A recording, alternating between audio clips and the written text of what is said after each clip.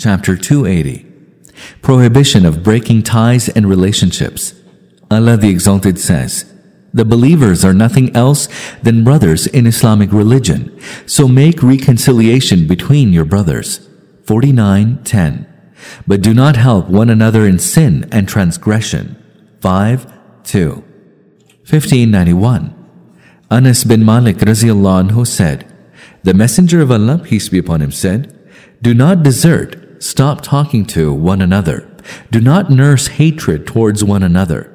Do not be jealous of one another, and become as fellow brothers and slaves of Allah. It is not lawful for a Muslim to stop talking to his brother, Muslim, for more than three days. Al Bukhari and Muslim. Commentary Hajran means to terminate contacts and speech. All the things mentioned in this hadith are prohibited for the reason that they go against the spirit of Muslim brotherhood. Muslims are ordained to maintain the bond of Islamic fraternity. 1592 Abu Ayyub al-Ansari anhu said, The Messenger of Allah, peace be upon him, said, it is not lawful for a Muslim to desert, stop talking to his brother beyond three nights, the one turning one way and the other turning to the other way when they meet. The better of the two is the one who is the first to greet the other. Al-Bukhari and Muslim. Commentary 1. Since Islam is a religion based on the nature of man, it has a suitable concession in all his natural affairs. When there occurs a dispute between two Muslims, then unpleasantness and contraction of mind are bound to result from it. In such a situation, they naturally do not like to speak or maintain contact with each other. Islamic Sharia has acknowledged the validity of this reaction and granted permission to the party to suspend speech for three days. Since longevity of suspension of contact leads to severe hatred and animosity, which increases dissension in society, creates obstruction in family relations, and injures the bond of friendship, Muslims have been ordered not to let this temporary unpleasantness and turbidity go beyond a period of three days. 2.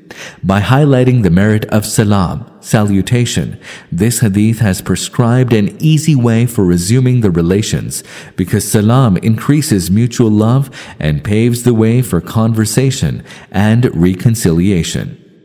1593 Abu Huraira anhu said, The Messenger of Allah, peace be upon him, said, People's deeds are presented before Allah on Mondays and Thursdays and then every slave of Allah is granted forgiveness of minor sins if he does not associate anything with Allah in worship.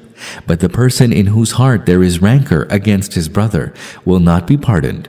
With regard to them, it is said twice, hold these two until they are reconciled. Muslim. Commentary. To entertain enmity without any major lawful reason is akin to inviting the displeasure of Allah. May Allah save us from it. 1594. Jabir anhu said, I heard the Messenger of Allah, peace be upon him, as saying, The Satan has despaired of being worshipped by those who engage in prayer in the Arabian Peninsula, but has not lost hope in creating dissension among them. Muslim. Commentary 1. This hadith is one of the proofs of prophethood of Muhammad, peace be upon him. His prophecy has come true that Muslims will fight among themselves and, as a result of mutual conflicts, sever links with one another. And this situation will arise as a result of the mischief, provocation, and evil suggestions made by Satan. 2. One of the benefits of Salat is to maintain and strengthen the feeling of brotherhood and fraternity between Muslims. 1595. Abu Huraira anhu said, the Messenger of Allah, peace be upon him, said, It is not lawful for a Muslim to forsake his Muslim brother beyond three days, and whosoever does so for more than three days and then dies will certainly enter the hell. Abu Dawud. Commentary. Such a Muslim who persistently forsakes his Muslim brother for more than three days, i.e., he does not greet him and talk to him, and dies in this state, will certainly be punished in hell along with other Muslims who violate such divine injunctions.